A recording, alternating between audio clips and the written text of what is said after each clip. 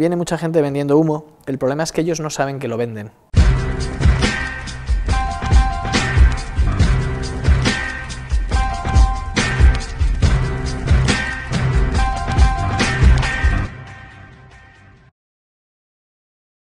Me intentan vender humo cada día, ¿vale? Es decir, yo estoy recibiendo las últimas semanas del orden de los 15-20 proyectos eh, semanales, ¿vale? Y, como le he escuchado el otro día en un encuentro de inversores decir a un inversor, el 95% no pasan el test de la risa, ¿vale? El test de que al leértelo no, te no tienes una carcajada, entonces el 5% que no, te, que no te ríes, procuras mirártelo. Entonces, no es un tema de vender humo, es que ya, ya, ya lo olemos y lo identificamos eh, en negocios donde ves que son de ejecución imposible. El, el, Excel aguanta todo y el PowerPoint aguanta más que el Excel todavía. Ocasionalmente sí se ve bastante humo, literalmente humo, de, eh, en, relación a las valoraciones. ¿no? Pues hay valoraciones que realmente son un humo y un humo, yo lo llamaría incendio más que humo. ¿no? Muchos emprendedores parece que se olvidan que ellos están aquí para crear empresas, no para levantar dinero de inversores.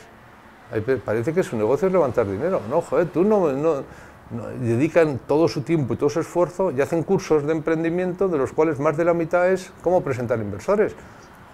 Crea una empresa y no te preocupes que los inversores ya, ya nos preocuparemos de que no sepas presentar. A mí me han hecho eh, invertir en proyectos que eran impresentables, entre comillas, pero eran buenísimos.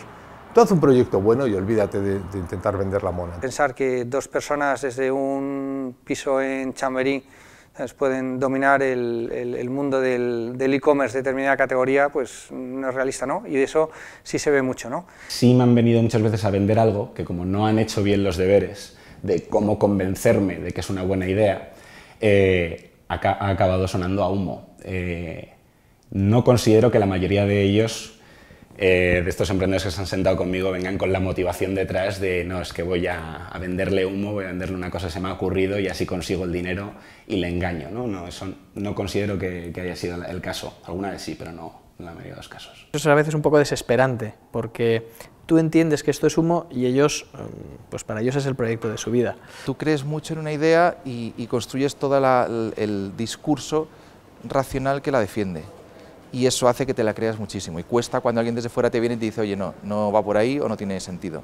Por eso es muy bueno cuando tienes una idea testarla con cuanto más gente sea posible mejor, sin perder tu visión de por qué quieres hacer eso, pero siendo capaz de, asumir las críticas. Es muy difícil transmitir a una persona que viene con mucha ilusión, que viene con, muchas ganas, que eso, mm, por lo menos para nosotros, mm, no va a ser, no va a funcionar y es, muy frustrante. Yo creo que aquí uno de los secretos es intentar eh, contarle esto de una manera positiva para que esa persona reaccione y sepa reorientar su modelo de negocio.